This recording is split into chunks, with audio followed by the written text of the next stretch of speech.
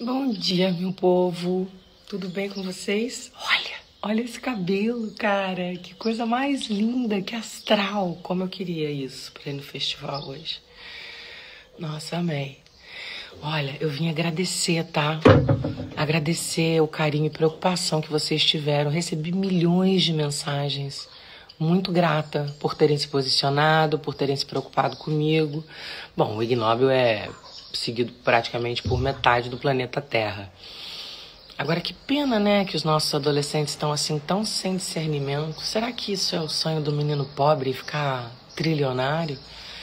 Será que isso são as nossas escolas que não repetem mais os alunos e eles saem às vezes semi-analfabetos? É meio, é meio preocupante, não é bastante preocupante. Bom, mas enfim. É, vim dizer que está tudo sob controle. As coisas que acontecem nas redes sociais não interferem na minha vida, graças a Deus. Eu tenho uma vida muito comum.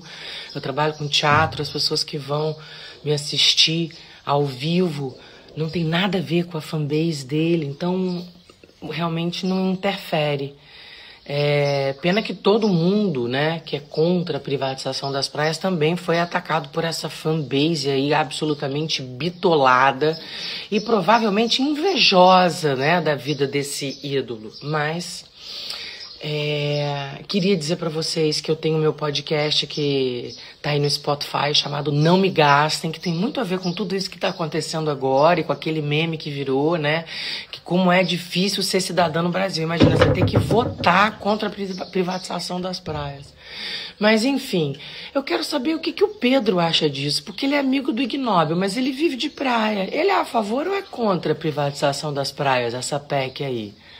Vocês não estão curiosos para saber, não? Eu tô. Qual?